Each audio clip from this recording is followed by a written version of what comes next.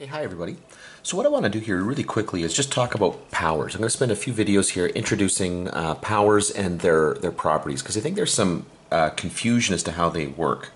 So first of all, let's take a look at what a power is. So I'm going to write this out here, x to the y. That, right there everybody, this is a power. Okay, so this whole thing here, this is what we call a power. And a power consists of two parts here. You've got your base, and then you've got your exponent. Okay? Now, sometimes, frequently, when people use the word power, they're actually referring to just the exponent. And, and that's okay, uh, because that doesn't really cause any kind of confusion. Everybody really knows what we're all talking about here. But, but technically speaking, uh, the base with the exponent together, that's considered the power. And what it means here is this, this thing right here, this is equivalent to a value um, that has y factors of x. Okay? Has y factors of x. Now, the word factor means, we talk about factors of x, x is a factor, x is being multiplied by something else to get another value here. So x to the y means we're going to have x times x times x times, and it goes on and on until we've got y of them. And we might even count them by putting little subscripts here. I've got 1x, then 2x, then 3x, all the way up until I've got y of them multiplied together.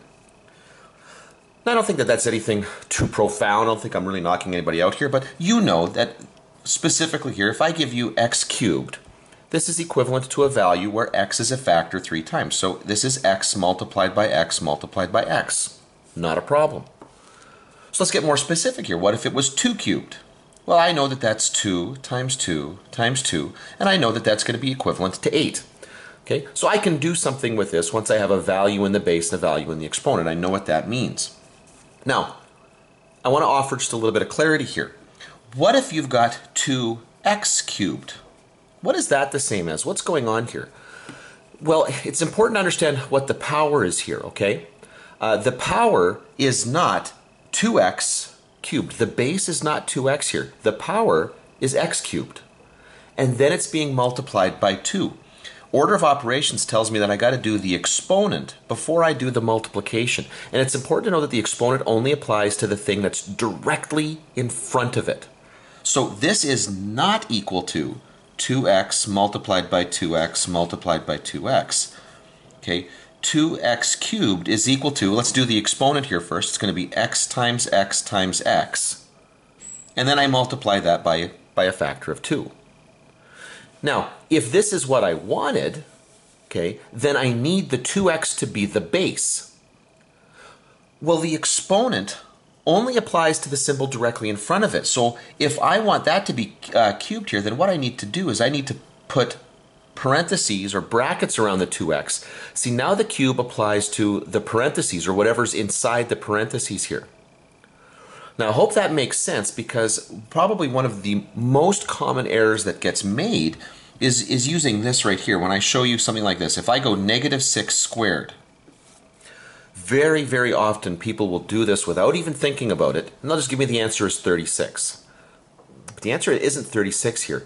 I have to do the square first. This is really the same. This expression, the way it's written right here, is really the same as negative 1 multiplied by 6 squared. And so I have to do the exponent first, because the exponent only applies to the 6, not with the negative 1 there.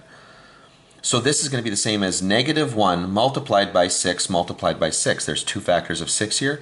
And so this actually gets you negative 36. Okay?